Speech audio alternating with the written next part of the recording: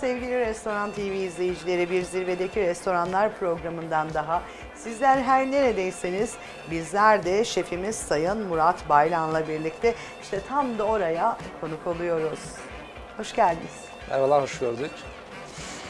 Önce sizi tanıyabilir miyiz? Ben Murat Baylan, e, Gümüşhane Kelkit 1986 doğumluyum. E, Gümüş suyunda e, Vietnam mutfağında mutfak şefliği yapmaktayım. Vietnam mutfağı. Aynen. Biraz şey, e, deniz ürünleriyle alakalı, biraz da e, baconlarla alakalı yani mutfak. Uzak doğu mutfağı. Ama güzel mutfağımız var. Öyle heyecanlı, e, neşeli falan mutfağımız. E, Böyle. Evet. Peki bugün izleyicilerimize ne hazırlayacaksınız? Bugün, ne sunacaksınız? Tay soslu tavuk lollipoplar yapacağız yani. Ee, uzak doğu soslarımız var, yani tay sosu. İçeriğinde e, şu an sayması biraz e, bayağı bir şey olur. Sadece hazırlanıp e, yapacağız. Hep beraber tadına bakacağız inşallah. Buyurun öyleyse mutfak sizin Tabii. şovunuz başlasın Tamam, efendim. teşekkürler, O sağ arada olun. da sohbetimize devam Aynen. ederiz zaten. Ee, yapalım o zaman. Şöyle söyleyeyim, bir tempura unumuz var ee, hazırlamış olduğumuz. İçeriğinde ben genelde yumurta kullanmıyorum çünkü çok e, yumurta kokusu falan geldiği için. İçinde soda var. Yani sodayla e, sertleştiriyorum yani. Unumuz var, tuzumuz var, e, biraz bir, e, sodamız var. Tavuk kanatlarımızı açıyoruz. Bunun içine bandırdıktan sonrasında yağda kızartıyoruz. Ee, sonrasında tay sos. Ee, içeriğinde nereden baksanız bir 30 tane baharat var. Ee, bunların her birini kaynatıyoruz. 3 saat böyle ağır ateşte falan kaynadıktan sonrasında e, pekmez kıvamına geliyor. Evet, Hafiften bir tatlımsı bir tadı var yani. evet, Ama yemesi neşeli bir şey. evet. Gerçekten Yapalım. de öyle gözüküyor. Aynen. Buyurun efendim. Teşekkürler. Peki Vietnam mutfağını seçmenizin bir nedeni var mıydı yoksa Ee, Vietnam mutfağını şöyle yaptık. Şöyle söyleyeyim ben Vietnam mutfağını. Aslında e, bilmediğimiz mutfaktı. Bizim için de bir yandan iyi oldu.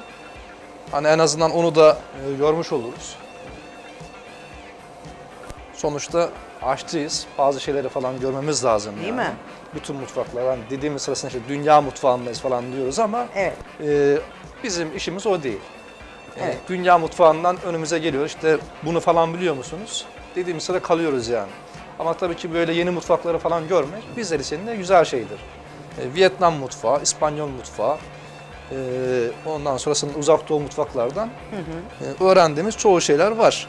evet E, Bunları tabii ki e, herkese sunmak lazım, göstermek lazım, anlatmak lazım yani. Ki daha e, bilgimiz açık olsun o şeylerde. evet gerçekten de öyle. Ee, peki şu an tabii ki Vietnam mutfağı, uzak doğu mutfağı üzerine hizmet veren işletmedesiniz. Evet. Bu neşeli, keyifli e, lezzetleri de hazırlıyorsunuz. Ama sizin en çok sevdiğiniz ya da kendinizi e, o alanda gelişime açık gördüğünüz mutfak hangisi? Türk mutfağı mı, Fransız mutfağı mı?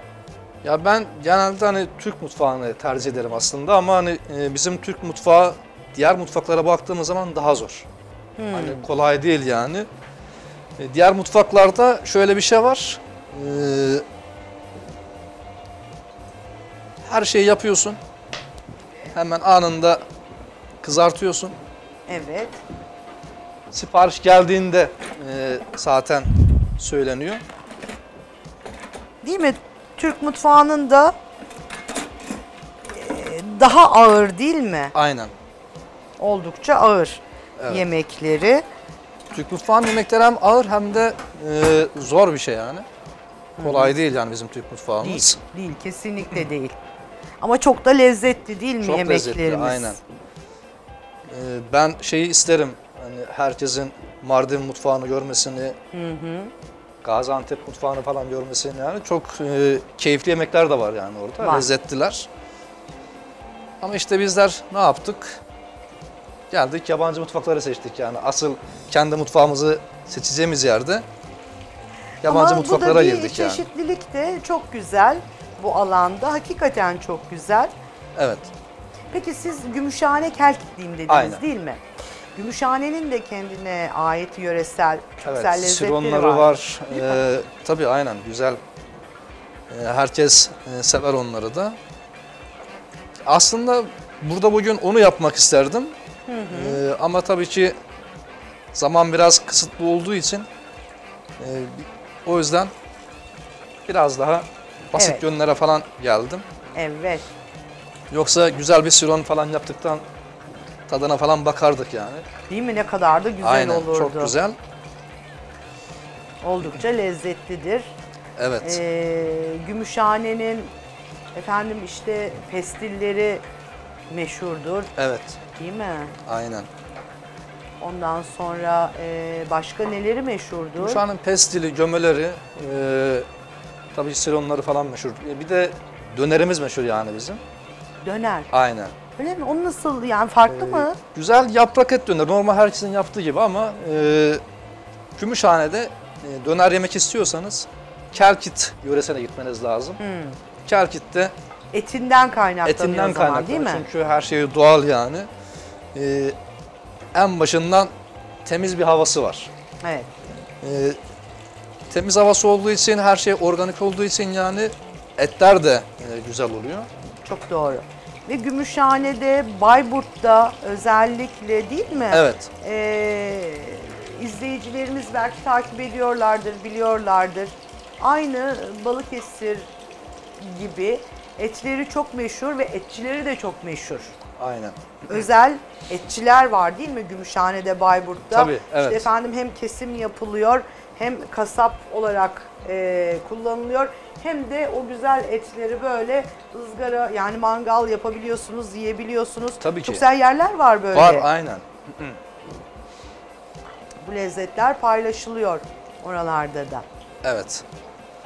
Peki aşçılığa geçişiniz nasıl oldu? Aşçılığa nasıl geçişim verdiniz? şöyle oldu. e, babamdan olan e, bir meslek. Hmm. Biz e, hem okula giderdik küçükken. Okuldan çıktıktan sonra da babamın yanına işi öğrenmeye, yardıma. e, öyle başladı yani bizim aşçılığımız. E, bir günüsü ben dedim ki bu işi yapmayacağım. E, çünkü sevemiyordum yani küçükken o zamanlarda. E, ama tabii ki babam daha sonrasında bana şeyi söyledi.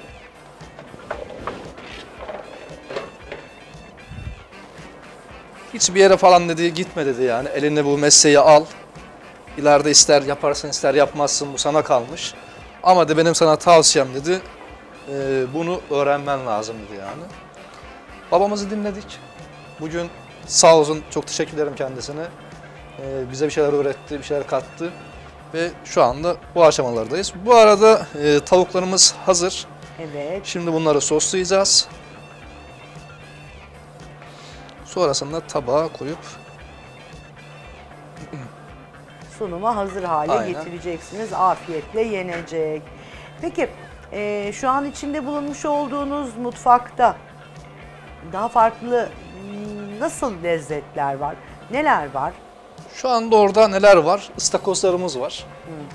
Ee, onun haricinde vongoleler var, istiridyeler var. Ee, tabii steak o da var. O da olacak çünkü. Steak mutfağı da. Ee, genelde sabahları şöyle bir şey yaptık. Sabah menüsünde. Ee, zeytinyağlı ve meze yapacağız yani. Sabah öğlen herkesin e, tatması için daha güzel bir görüntü. Akşam da biraz daha e, fayına kaçacağız yani. Hmm. E, akşamüstü olan yemeklerimizde işte deniz ürünleri, vongoleler, kabuklu midyeler, istiridyeler. E, onun haricinde e, baconlar e, olacak. Birazcık daha e, gündüzden ağır olacak yani. Evet. E, güzel bir, nezih bir yer. Biraz Böyle- bahsedelim mi mekanınızdan da? Çünkü izleyicilerimiz e, bu lezzetleri tatmak adına ziyaret edeceklerdir Murat Tabii. şeflerini değil mi? Mekanımız şu anda açık değil. Ee, bir 10 gün sonra açılacak yani mekanımız. Şöyle. Yeni menü hazırlıkları Aynen var. yeni menü hazırlıkları. Ee, çünkü yeni bir yer. Ee, Gümüş suyunda. Evet. Ortalama kaç kişilik? 150 kişilik falan kapasitesi var şu anda. Oldukça Aynen. büyük. Evet. Oldukça büyük. E, hangi saatlerde hizmet vereceksiniz?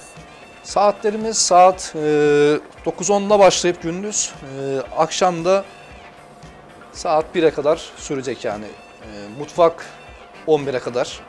Salon e, en geç 1 ya da 2'de falan bitecek. Tabii.